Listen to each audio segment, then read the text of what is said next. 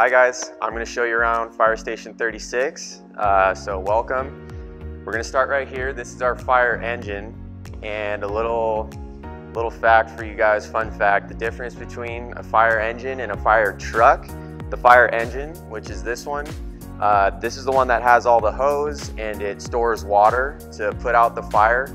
The truck is the one with that big ladder on top and it has a bunch of tools and stuff for like getting people out of vehicles and whatnot. So this is the fire engine. Some of the hose that we uh, pull off are right here on the side, so it's very easy. We just step out and it's right here for us.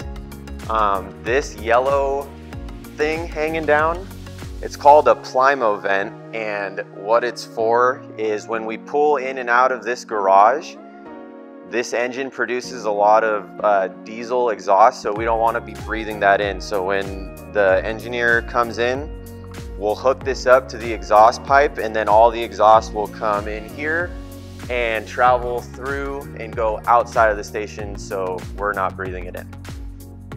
So this is our kitchen. We cook meals here every day uh, because we're on duty 48 hours at a time, if not more. So for two days, uh, we need to be responding to calls, which means we need to eat. So it's just like your typical kitchen that you probably have in your home. We've got um, two fridges because we've got a lot of a lot of guys here. We have a grill. I personally like to barbecue, so I definitely use the grill a lot.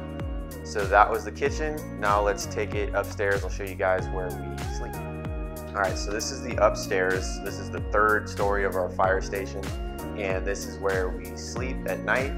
Uh, but like I said, we're here for two days and we get calls throughout the day and night. So if someone calls us, we have tones, alarms that go off.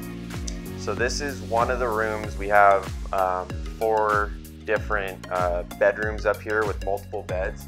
So if you come in here, this is where we sleep at night. It's got little fire department engines and hydrants on it. If there is an emergency, this is where the fire pole is.